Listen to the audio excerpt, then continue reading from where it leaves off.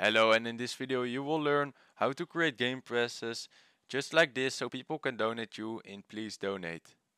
Now in order to get the donation button right here you first have to create a game pass. Creating game pass is really easy.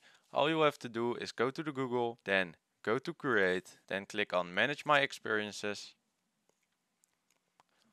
Then click on any game that you have right here Next, go to associated items on the left and once you're here you can create badges but you want to create a pass. Now here you can, you can click on create a pass and you can type anything you want.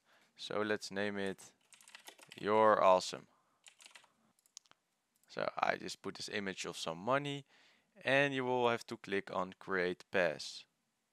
Now that you've created your pass, you're still not done. All you'll have to do is click on your pass that you've just created and then go to sales. Now here you want to click on item is for sale and now you have to put in a price in Robux. So you can put any price in here. Something you do have to note is for example I put one Robux, Robux and I get one but if I put two I only get one. So if I put three I get two but let's say we want to make a donation button for 10 Robux we click on 10 we will receive 7 Robux and we click on save changes. Now please go back to your please donate game and go to your stand and click on edit stand and now you want to press the refresh button right here and once it's refreshed you will see that we have our our donation button for 10 Robux.